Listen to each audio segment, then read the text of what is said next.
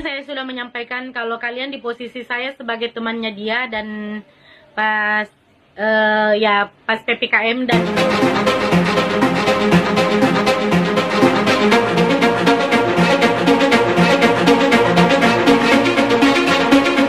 Terus jangan lupa di like, komen, dan subscribe terus di share juga ya. Nah, keluarganya nggak datang semua. Ya nggak apa-apa. Kita juga nggak mungkin datang semua kok. Cukup maksudnya bilang aja kak. Ma ini ya dede minta maaf karena nggak bisa mungkin semua teman-teman bisa hadir tapi setidaknya ada dua orang perwakilan. Memanas Ati Kodong sebut undangan Lesti Kejora dan Rizky Bilar sampah. Ya, konflik berkepanjangan antara Lesti yang diakibatkan si Kodong yang tak terima karena merasa tak diundang. Nyatanya ia diundang namun karena kudetnya ia, ia menganggap bahwa undangan Lesti sampah.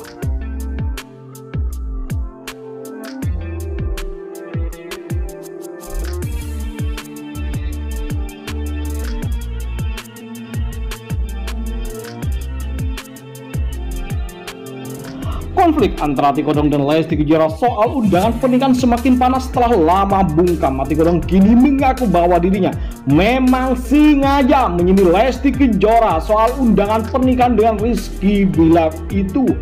Ini apa sih? Bahkan Ati Kodong menganggap undangan pernikahan yang diberikan Lesti Kejora dan Rizky Bilar adalah sampah. Wow, wow, wow. Lantas apa maksud dari perkataan undangan pernikahan dari Lesti Kejora adalah dan sampah? Dan apa yang diperingatkan Ati Kodong kepada Lesti Kejora berkaitan dengan puncak karirnya Mbak Bintang?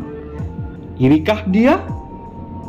Mula-mula Ati Kodong menyinggung soal undangan pernikahan yang dibagikan satu hari sebelum oleh Lesti Kejora Padahal Ati Kodong sebelumnya sudah mewanti-mewanti bahwa dirinya berada di Semarang sehingga meminta Lesti Kejora mengirimkan undangan pernikahan jauh-jauh hari untuk persiapan ke sana. Kalau merasa nggak diundang, sebenarnya undangan udah masuk jam 11 pagi tanggal 18 Agustus di grup. Nggak mungkin dong saya harus ngurus buat pemberangkatan ke Jakarta dalam setengah hari. Beber hati kodong. Berarti kan nggak siap berangkat, nggak siap datang, nggak semuanya datang seperti yang ia sampaikan sebelumnya. Sementara keinginan hati kodong dari 35 kontestan dia ada yang hadir mewakili pernikahan Lesti Kejora. Ya di pernikahan Lesti maksudnya guys.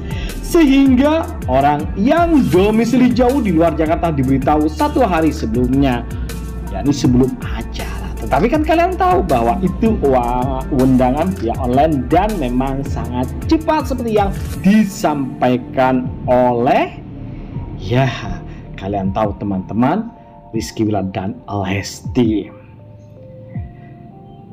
sehingga seperti dirinya saya yang berada di Makassar itu hamin satu halusnya karena kita semua yang nggak stay di Jakarta diberitahu jauh-jauh hari. Wah mau rame-rame. Kan PPKM maksud postingan saya itu setidaknya dari 35 orang ada yang mewakili bibir Ati Kodong soal undangan Kesal dengan hal itu Ati Kodong menyebut undangan dari Lesti Kejora sampah. Pasalnya Ati Kodong menilai seperti ada unsur kalian Lesti Kejora tidak mengharapkan dia dia dan datang. Itu sampah ya undangan yang eh, dikirim ya, Lesti Kejora ke grup itu diundang, sebagai sahabat sama-sama merintis dari bawah paling enggak ngabari Japri ungkap Ati Kodong mau diistimewakan lo ya. Waduh apa sih kontribusinya dan lo pernah ngundang Lesti ketika lu yang namanya kawin? Hehehe, lanjut lagi. Jika Lesti Kejora memang berniat mengundang dirinya namun sibuk hati kodong mengingatkan seharusnya beri mandat orang kepercayaan PPKM sok-sokan dia mau diistimewakan. Emang presiden Misal kalau sibuk ya tinggal hubungin saya Japri bilang kalau dia sibuk nanti dihubungi orang ini atau diurus orang ini ya. Beber Ati Kodong Wah artis banget loh Ati Lebih lanjut Kodong bahas soal sindiran di media sosial untuk Lesti Kejora. Hal ini dibuat Ati Kodong sebagai ungkapan rasa kecewa. Kalau ungkapan saya di sosial media yaitu bentuk kecewaan saya pada dia paling nggak kan basa-basi karena bintang itu tidak akan selamanya bersinar jelas hati kodong menyinggung soal kata-kata Tidak selamanya bintang bersinar Ati Kodong membenarkan itu peringatan untuk Lesti Kejora. Mereka tidak menerima kata-kata bintang, tidak akan selamanya bersinar padahal itu cuma hiasan yang memang begitu adanya jelas Ati Kodong. Ya terserah mau mengartikan seperti apa ungkap kekecewaan saya di IG kata Ati Kodong. Namun nyatanya Lesti sudah setengah kemat Ati Kodong sebelumnya dengan mempublish tentang bagaimana undangan itu yang sangat spesial dipersiapkan dalam rangka mematuhi PPKM mana yang otak ikan dan otak yang jernih dan jelas. Kalian silahkan kasih komentar bagaimana menurut kalian terkait perseteruan antara Lesti Kejora dan Ati Kodok yang kian memanas tentunya. Jangan lupa like, komen, dan subscribe. Terima kasih telah menonton. Yuk bye bye